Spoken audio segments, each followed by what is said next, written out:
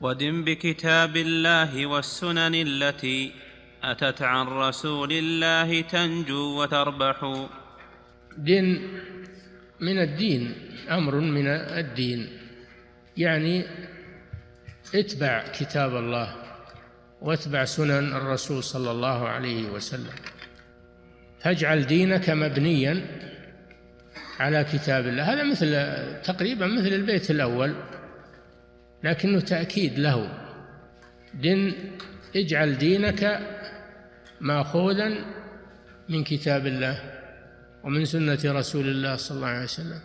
ليس ماخوذا عن الأهواء وعن البدع والمحدثات.